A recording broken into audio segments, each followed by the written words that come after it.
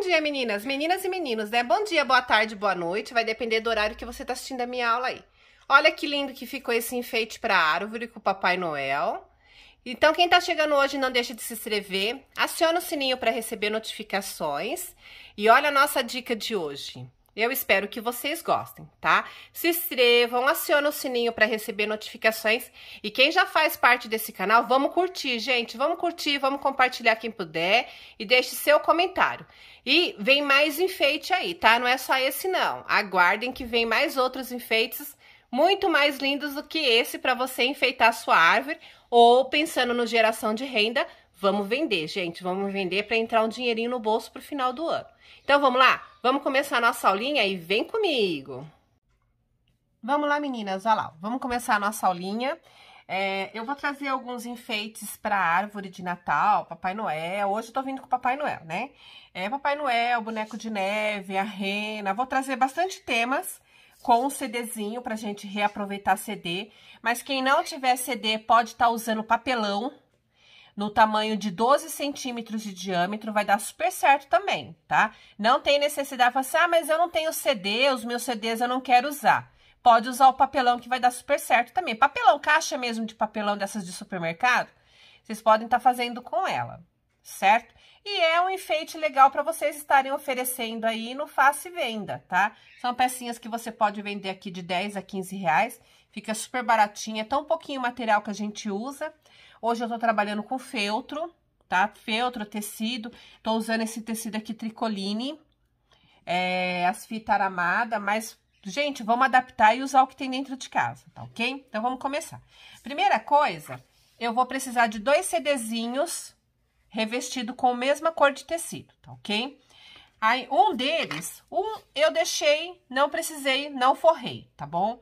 O outro eu vou forrar, vou pegar uma folha de sulfite na mesma cor, porque eu quero que ele fique bem branquinho, eu não quero que cause nenhuma interferência da, do CD, certo? E eu vou forrar aqui com o tecidinho, do jeito que a gente faz sempre, tá, gente?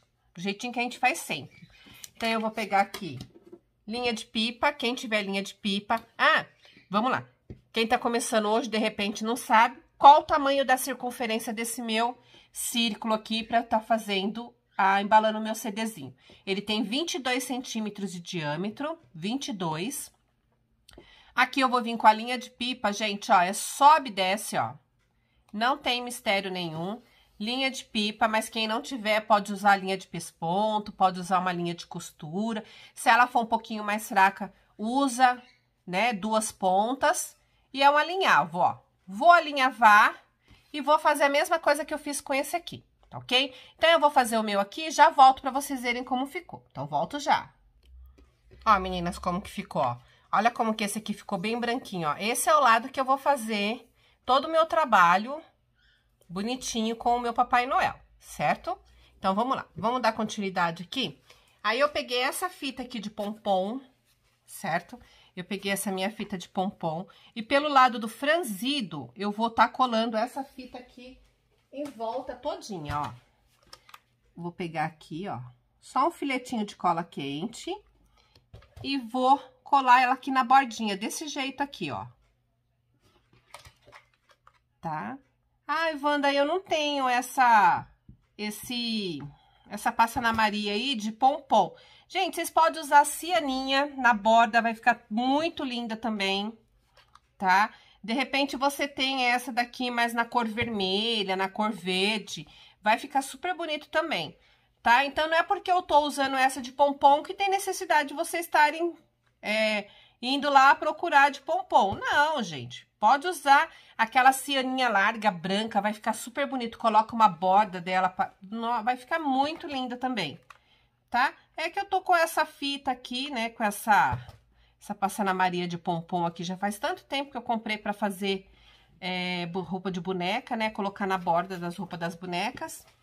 E acabou sobrando, e aí a gente vai chegando no Natal e a gente vai é, usando o que a gente tem, né? Eu não saio para comprar nada, tem muito, muito tempo que eu, eu não compro material, eu sempre tento adaptar com o que eu tenho dentro de casa, porque eu tenho que estar tá usando o que eu tenho, para depois eu pensar em estar tá gastando. Eu vou comprar alguma coisa quando é em último caso mesmo, porque esses dias faltou feltro verde. e a gente usa bastante para fazer folha, mas sair para ir comprar, de repente, uma renda, uma passa na Maria, porque eu vi a artesã fez, e aí eu quero fazer igual, não. Gente, eu sempre tento, eu faço muita pesquisa na internet, e eu sempre tento adaptar com o que eu tenho dentro de casa. Sempre tento estar tá adaptando. Ó, eu fiz isso, olha como que ela fica, uma bordinha, ó. Desse jeito aqui, ó. E na cianinha ela vai ficar também, certo? Cadê? Ó, já até sumiu. Aí aqui eu já vou colocar uma fitinha, acabamento aqui pelo lado de dentro, que é onde eu vou pendurar lá na minha árvore. Desse jeito aqui, ó. Certo? Então, eu vou esperar dar uma secadinha e já volto. Ó, meninas, aí deu uma secadinha, eu vou vir, ó. Passo cola, ó, aqui na borda. Passo um pouquinho de cola aqui no meio. Aí eu vou vir com aquela outra parte que eu coloquei o papelão. Centraliza ela bem bonitinha. E vou colocar ela aqui em cima e vou esperar secar, porque agora vai demorar um pouquinho. Eu não posso, ó, se eu soltar ela levanta, eu não quero. Então, eu vou esperar ela dar essa secada e já volto pra gente dar continuidade. Então, volto já. Então, vamos lá, meninas, pra montagem agora. Aqui eu peguei um, uma tira preta pra representar como se fosse a, o cinto do Papai Noel. Vou passar um filetinho de cola aqui, ó. E vou colocar ele aqui embaixo, aqui, ó. ó desse jeito aqui, ó. Vou tirar um pouquinho do excesso. De um lado, do outro, ó. Gente, esses moldezinhos eu vou disponibilizar. Eles vão estar todos disponíveis aqui no meu Face, né? Eu vou deixar o um linkzinho aqui embaixo, ó. Deixa eu acertar aqui pra não ficar tão diferente um do outro, ó. Peraí, ó. Então, aqui tá os moldezinhos, ó. Aqui tá todos os moldezinhos. Ó, tá? E eu vou disponibilizar os moldes pra vocês, tá? Exceto essa tira aqui, que é um pedaço de, de tira que eu cortei pra tá colando, ó. Certo? E aí, agora aqui eu vou montar o meu Papai Noel, ó, centralizado. Vou usar essa cola aqui, que vocês sabem que eu gosto bastante, que é a cola de silicone. Não vou usar cola quente, por quê? Porque a cola quente vai formar uns degrauzinhos e eu não quero que forme esses degraus, ó. Se você tiver a cola de silicone, pode usar a cola de silicone, que vai dar super certo também, tá? Mas aqui, nesse caso, eu vou usar Ai, ficou um pouquinho de cola, ó. Esse é o problema da cola quente, ó. Certo? Ó. Aí, agora aqui, eu vou vir com o rostinho. Gente, vai estar tá tudo disponível, tá? Terminou? Assistiu meu, meu videozinho? Não esquece de curtir, tá? Deixa sua curtida aí. E apertou o link, você vai direto lá onde tá todos esses moldes, tá? Vocês estão vendo que ficou uma marquinha preta? Essa marquinha preta vai sair porque eu tô usando aquela caneta fantasminha. Eu estou usando aquela caneta fantasminha, gosto bastante. E agora aqui é só montagem, ó. Tô trabalhando com feltro. E aqui é só montagem, ó. Só vou montar. Aí, agora, nesse momento aqui, eu venho com o meu blush, aquele que eu uso para as bonecas blush de casa mesmo, tá? Ó. Já vou passar o blush aqui, porque eu não quero que o bigode dele fique cheio de blush, ó. Então, já vou passar o blush. E, ó, o bigodão dele. Gente, agora aqui é como quebra-cabeça, ó. Ui, grudou no meu dedo. Viu? Tá tudo marcadinho, mas depois eu vou bater um jato aqui de... A... Com o secador, some tudo, ó. Aqui é um cintinho que eu fiz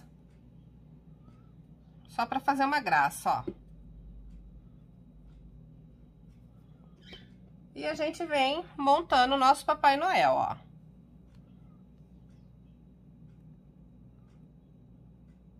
É um quebra-cabeça, ó. Venho montando. Aqui é o bonezinho dele. Vou deixar um espacinho, ó. Porque aqui em cima eu vou vir...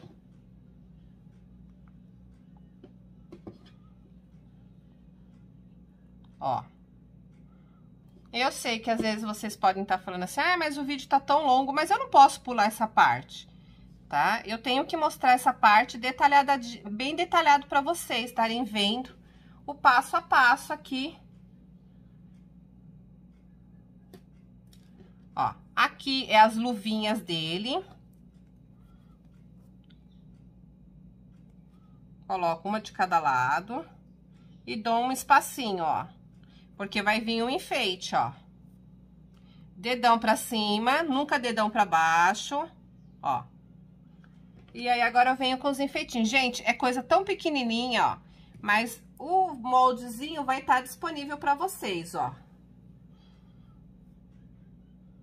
Todos esses moldes vão estar disponíveis, ó. E depois vocês vão ver a foto e vocês vão ver que essas marquinhas que vocês estão vendo, vai sumir tudo, tá? Porque eu vou bater um jatinho de, de ar quente e vocês vão ver que vai sumir tudo. Ó, com a tinta de tecido... Ops, olha, quase que ela derrubou tudinho aqui. Deixa eu lavar a mão, peraí. Ó, com a tinta de tecido, o olho de um lado, ó. E do outro, ó.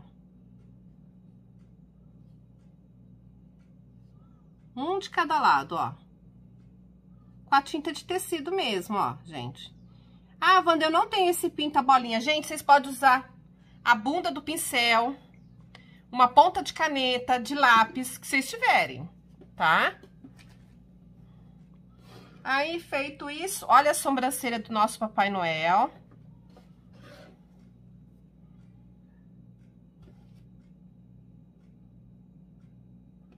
Uma sobrancelha de cada lado.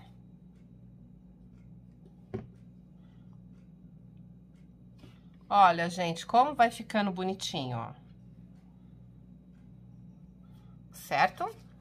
Aí, feito isso, eu vou pegar essa cianinha dourada e vou passar uma borda aqui, ó. Começando aqui em cima e vou passar uma borda no contorno dela aqui. Essa ceninha dourada, eu vou passar com a cola quente. Ops, ó. Só um filetinho. Bem na borda do CD mesmo, ó. Desse jeito aqui, ó. Bem na bordinha do CD, ó. Bem aqui na bordinha, ó pra fazer como se fosse um acabamentinho, certo?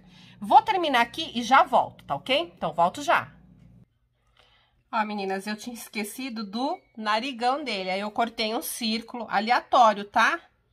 Cortei um círculo pra fazer o nariz dele. Ó. Fazer o narigão mesmo. E aí, eu peguei alguns enfeites, ó. Esse pomponzinho eu fiz de lã, mas quem não tiver a lã branca pode estar tá usando o próprio feltro, tá? Corta um círculo, vai ficar super bonito. É, fui atrás de algumas coisas que a minha aluna me deu aqui é, de EVA, onde ela tem as, as lâminas de corte, não sei direito o nome. E aí fui pegar uns floquinhos de neve, ó, pra enfeitar. Quem quiser, de repente, tá é, pesquisando alguma coisa, ela vende todo esse material. Então, eu vou deixar aqui embaixo para vocês, ó. O telefone dela, ó. É o WhatsApp. Ela faz entrega pela, pela Shopee, tá? Então, se vocês quiserem dar uma olhada, dá até para entregar por carta, porque assim, é tão, é tão fininho que dá para entregar por carta normal, certo? E além que, gente, ela tem muito trabalho, vários, vários moldes, ó, aqui até caiu o colo. Olha, tem aqui essas borboletas que eu fiquei apaixonada, elas são todas vazadas, ó. Tem flor, tá? Tem esses floquinhos de neve, ela tem guitarra, presépio, gente, ela tem muita coisa, tá? Então, quem se interessar, quiser entrar em contato com ela, fala pra ela que você viu aqui no meu canal, no canal da Wanda Duca, certo? E que você quer cotar preço. E aí, quem sabe, dá, dá pra você estar tá enfeitando aí os seus enfeites pra árvore de Natal, certo? Então, vamos lá, gente, olha que bonitinho que ficou. O narigão dele eu cortei um círculo aleatório. Essas marquinhas que você está vendo aqui das canetinhas é aquela caneta fantasminha, gosto muito de usar ela. E ela vai sumir tudo quando eu der um... bater aqui uma... bater um arzinho quente, certo? Fiz esse laço aqui, é um laço daquela fita aramada. Vou finalizar ele aqui, ó. Passei uma... Não sei como que chama essa fita aqui. Gente, eu tenho tanta coisa guardada e aí quando vai chegando algumas datas, a gente acaba usando. Lembra por que eu fiz sempre, comecei de cima? Porque aí agora eu venho com o meu laço, ó. E aí o meu laço esconde todo o acabamento em cima. Então, finalizei aqui a nossa peça. Esse laço aqui, eu peguei a fita, dobrei ao meio, alinhavei e peguei um outro pedaço por trás. Quem tiver dúvida, de repente, como eu vou fazer uma sequência desses enfeites para árvore de Natal, quem tiver dificuldade, eu faço no próximo. Não sei se eu vou fazer uma rena, eu vou fazer um boneco de neve, ou aqui o biscoito, né? O ginger biscoito. Mas aí eu vou estar tá fazendo outras pecinhas dessa. Quem tiver dúvida, eu posso estar tá explicando o lacinho aí em uma outra pecinha. Gente, olha como ficou bonito, bem enfeitadinho. E é uma peça rápida, não tem nada de enchimento, é um quebra-cabeça, é, um, é montar. Não tem muito mistério no que fazer aqui. Eu espero que vocês tenham gostado da nossa peça de hoje. Fica a minha dica aí para vocês, certo? E aguardem que tem muito mais. E um grande beijo no coração de todas e tchau, tchau! E até a próxima!